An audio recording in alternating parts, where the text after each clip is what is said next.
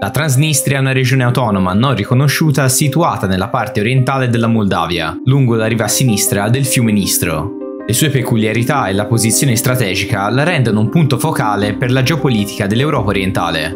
La Transnistria è una terra dove si incontrano e si scontrano diverse culture e narrazioni storiche. Il paesaggio sociale riflette ancora l'atmosfera della guerra fredda, con simboli dell'epoca sovietica che risaltano nelle piazze e nelle principali città. La bandiera della Transnistria contiene ancora una falce e martello, emblema dell'epoca sovietica, a dimostrazione della profonda nostalgia per il passato sovietico e del rifiuto dell'integrazione con la Moldavia. Nel 1990, mentre l'Unione Sovietica iniziava a disgregarsi, la Transnistria si è autoproclamata Repubblica Moldava della Transnistria, dichiarandosi indipendente dalla Moldavia in risposta alle spinte nazionalistiche che crescevano a Chisinau. Il 1992 è stato un anno importante per la Transnistria. Il conflitto con la Moldavia, breve ma intenso, ha lasciato cicatrici profonde. Si stima che il conflitto abbia causato circa mille morti e decine di migliaia di sfollati. La guerra si concluse con un armistizio mediato dalla Russia, che si presentò come garante di una fragile pace. La presenza russa non fu solo però diplomatica. Mosca stanzionò truppe nella regione, ufficialmente con il ruolo di peacekeepers, ma di fatto come simbolo tangibile del potere russo. Questo ha permesso alla Transnistria di rimanere uno stato autonomo de facto, benché mai riconosciuto a livello internazionale. La Transnistria è oggi una reliquia sovietica, una regione in cui il tempo sembra essersi fermato. Le statue di Lenin sorvegliano ancora le piazze di Tiraspol e la lingua russa è predominante nelle istituzioni e nelle comunicazioni quotidiane. Con una popolazione di circa mezzo milione di persone, tra cui il 30% moldavi, il 28% russi e il 22% ucraini, la Transnistria ha sempre guardato a Mosca come il suo principale alleato e protettore. La presenza di circa 1500 soldati russi e il deposito di armi di Kolbasna, uno dei più grandi dell'Europa orientale, garantiscono protezione nei confronti della Moldova e rappresentano un elemento di influenza fondamentale per la Russia. Il deposito di Kolbasna è cruciale per comprendere la dinamica del conflitto fra Moldova e Transnistria.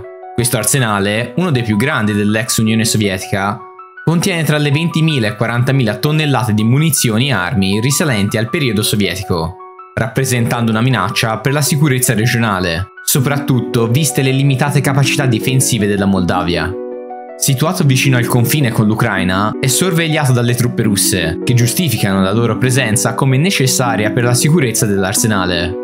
Tuttavia, la realtà è che la Russia utilizza questo deposito come leva militare e politica per mantenere la sua influenza nella regione e impedire qualsiasi tentativo moldavo di riprendere il controllo della Transnistria.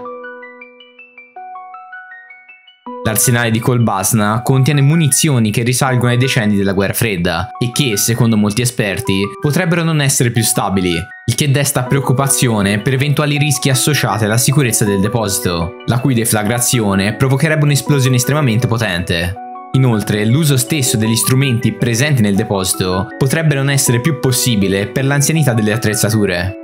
Anche per questo motivo la Moldavia ha chiesto ripetutamente la messa in sicurezza del deposito e la ritirata delle truppe russe, richiesta non accolta da Mosca. Nonostante la mancanza di riconoscimento ufficiale, la Transnistria ha sviluppato istituzioni proprie. Il governo della Transnistria è strutturato in modo simile a quello di molti stati sovrani, con un presidente che esercita un notevole potere esecutivo e un Parlamento unicamerale, chiamato Consiglio Supremo, che legifera per la regione. Tuttavia, il governo è fortemente influenzato dalla Russia, che fornisce sostegno finanziario e politico garantendo la stabilità alla leadership locale. Come già detto, la regione dipende in larga misura dal sostegno russo, sia economico che politico. La sua economia è debole e strettamente legata alla Russia, con poche risorse locali e una produzione industriale che risale al periodo sovietico. L'industria principale è quella dell'acciaio, con l'impianto di Moldovan Steel Works, uno dei maggiori produttori della regione, che rappresenta una delle principali fonti di occupazione e di entrate. Anche il settore energetico è molto importante, grazie alla presenza di una grande centrale elettrica che fornisce energia non solo alla Transnistria ma anche alla Moldavia. Questa dipendenza energetica è una delle leve principali con cui la Transnistria esercita pressione su Chisinau. Nel febbraio 2024 la Russia ha intensificato i suoi sforzi per influenzare la Moldavia, utilizzando sia la Transnistria sia la Gagauzia, una regione autonoma nel sud della Moldova, come leve strategiche per destabilizzare ulteriormente la situazione politica del paese. Durante un congresso tenuto in Transnistria, i deputati locali hanno richiesto ufficialmente maggiore protezione da parte della Russia contro le pressioni della Moldova. La Gagauzia, una regione autonoma della Moldova, abitata in maggioranza da una popolazione di origine turca ma culturalmente molto vicina alla Russia, è stata anch'essa oggetto di attenzione da parte del Cremlino. Putin ha utilizzato la Gagauzia come strumento per fare pressione sulla leadership moldava, incoraggiando sentimenti anti-europei e fomentando il separatismo. I leader gagauzi hanno recentemente chiesto l'aiuto russo contro le presunte pressioni di Chisinau per limitare l'autonomia della regione.